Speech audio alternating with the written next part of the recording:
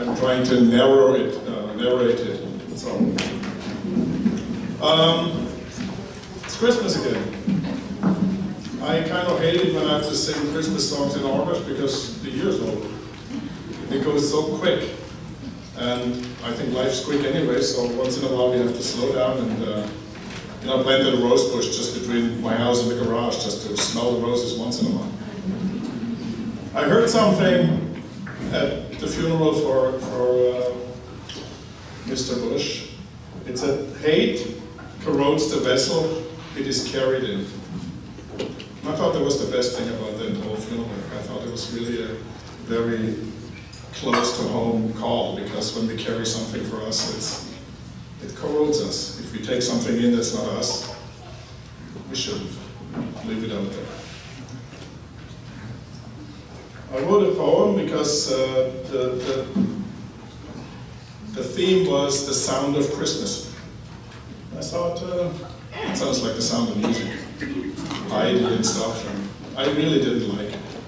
And so uh, when I sat down, I thought, oh, maybe, maybe something comes, and this is what came up.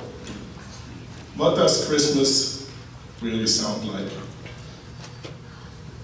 Choirs and caroling and people just whistling. Sleigh bells are ringing and snow that is glistening. Is this the sound that Christmas is near? Is this the sound and is this Christmas cheer? I think it's a feeling and that there's no sound. Whatever I learned while the daydreams abound, whatever I learned, if I'm good, I get presents.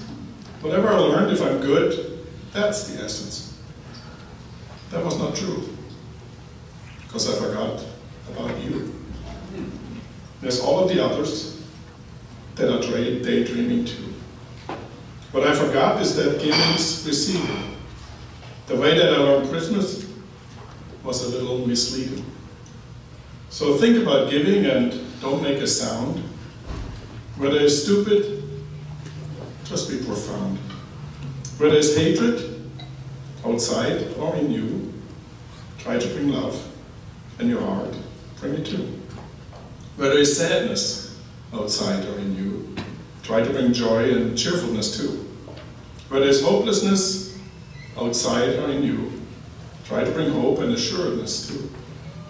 Whether it's doubt outside or in you, bring trust and conviction and optimism too.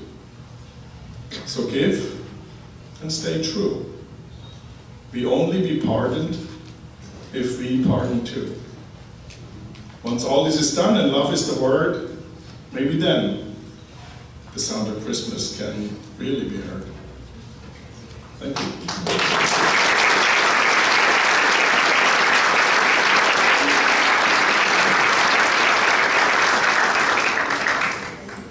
The next uh, sound you will hear is this long uh, Alpenhandys. Uh, they were not really put small at the time, so the good thing was when you called the wife and she couldn't play it, she couldn't talk back. okay. Hans-Jörg Sommer wrote this next piece. It's called Exitus